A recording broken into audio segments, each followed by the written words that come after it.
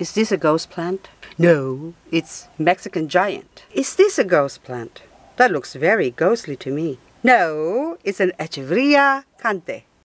Well, is this a ghost plant? No, it's Pachyveria powder puff. It's also white and very ghostly looking. What about that one? Is that a ghost plant? Yes, it's a very, very big ghost plant. this is Graptopetalum paraguayense. Hello there, my name is Liz, a self-confessed succulent addict.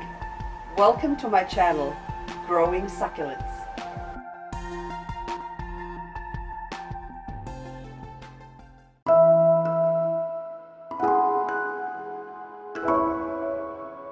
The leaves on this one, so let's take one of the biggest, longest Bacchus, the ones in the back, the Bacchus, is about three inches long, but probably three and a half inches long.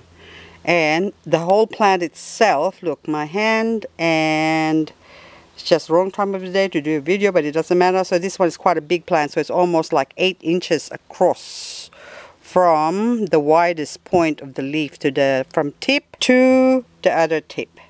So these ones here are Graptopetalum paraguayense that are growing in this pot. And even this one is quite big. So this is afternoon sun. It's hitting it and you can see that it's sort of green. Basically, when there's no sun, that is the color of what it looks like and on the other side here the biggest one of course so basically that's what happens but of course when the sun's shining against it.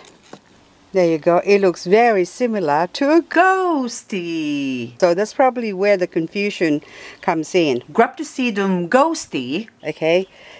Gonna move it over here. Is a smaller plant overall. So that is Paraguayense. And that one on the right is Ghosty. So this one on the left, the ghost is still bigger than the ghosty on the right. So this is Graptopetalum paraguayense here, like grown small because it's in a pot. But now if you put it next to Graptosedum ghosty, you can really tell the difference that this one is Paraguayense and the one on the right is Ghosty. Graptosedum ghosty. Actually looks prettier to me anyway. it looks prettier than the Graptopetalum paraguayense ghost plant. So ghost plant, ghosty. The same shape and the leaves is as thick as well as a small grown ghost plant. So that's what, okay, if I'm to go on the side here so you can see the leaves, it's, it's the same. It's basically the same size. So it just depends how it's grown. And if you grow,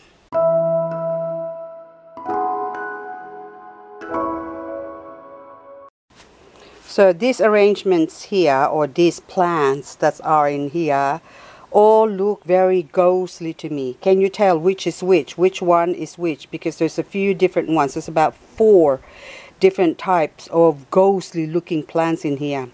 So this one here, which to me looks more ghostlier, uh, ghostly, yes, on all of them.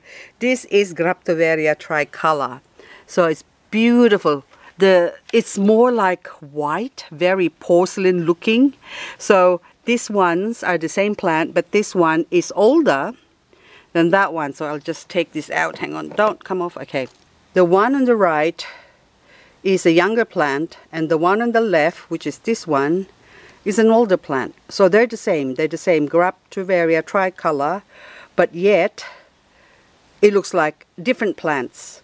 Based on the shape, you can tell that it's the same plant, but because of the age, they look somewhat different.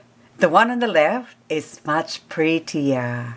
This is a Echeveria silver star that looks very similar to Graptoveria tricolor because the center is also pink and the overall leaf coloration is very much the same as this tricolor. Now this tricolor is more pink compared to, just hang on, I just get this out. So this is still, the one on the right is still a pretty young tricolor. As a tricolor gets older, it looks more pink like this one on the left. More beautiful. But this one on the right uh, is still pretty young.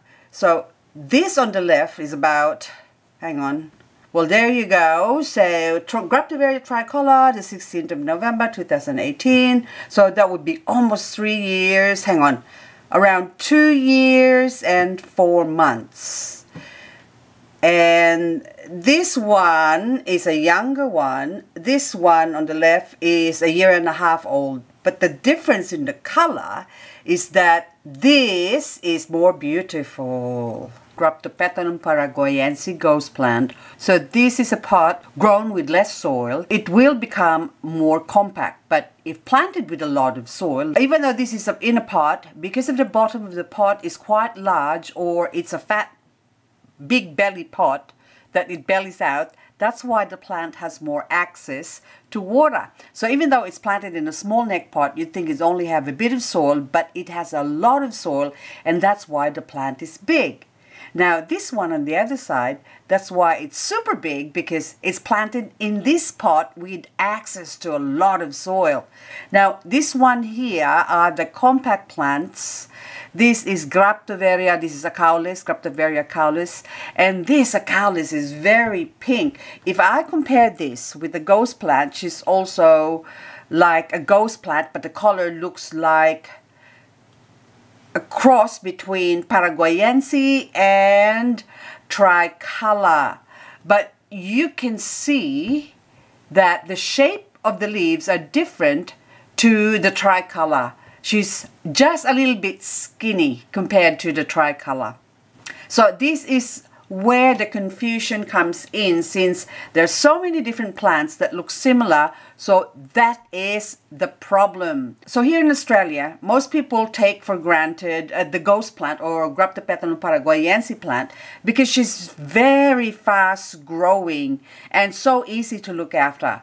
She basically can grow from a leaf or cutting but it grows fastest with cutting so this one here, I basically started with three cuttings. So let's take a peek. So there's one, two, three, three plants that I planted here, and there are two single, uh, and these two are still single, and the other one, so this is the oldest one of this group, that's the mommy of the group. Now uh, she has babies. So coming from just one stem cutting, three or altogether has now become four plants. These two are both ghost plant, but you can see they both look different. These are the growth differences. The pink one lives on top. It's about 5 o'clock in the afternoon and she's still getting some sun. And this one in the bottom, that's why she's green because she's not getting any sun. She only gets sun in the afternoon. This other one experiences morning sun, midday sun, and afternoon sun. And this in the bottom only experiences partial midday sun and afternoon sun. Now I'm going to take this and compare it to the ghosty and you're going to say that this that this Paraguayense ghost plant on the right is a ghosty. Now this ghosty, once it's matured, eventually it the look will change. Now this ghosty, once mature, will look similar to now the one in the bottom is ghosty.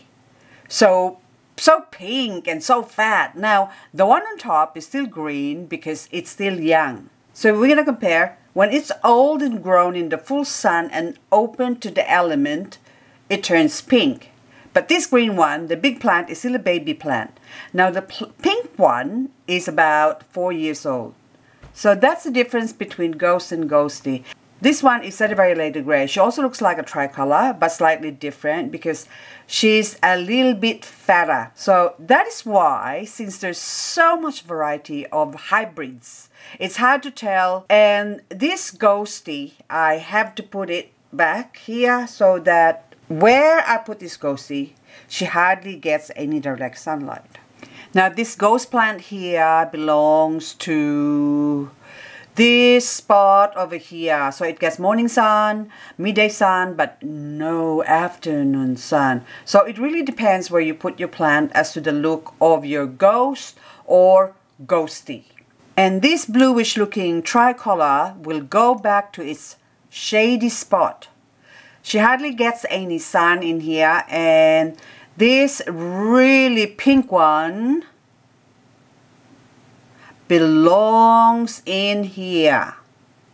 I'll just take this other plant here. This is where she grows and that's why she's so pink because she gets plenty of direct sunlight. And this machete will have to go back here.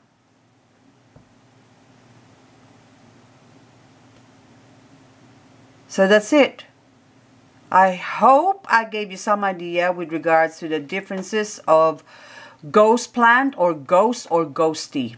But for me personally, if I have to choose between ghost or ghosty, for me, I prefer the most beautiful ghost of all. Now, wait a minute. I think it's the Kante. But then again, this is prettier because it's fat. Wait a minute. Now you see, where you, which one are you going to choose? Mexican Giant or Kante over there?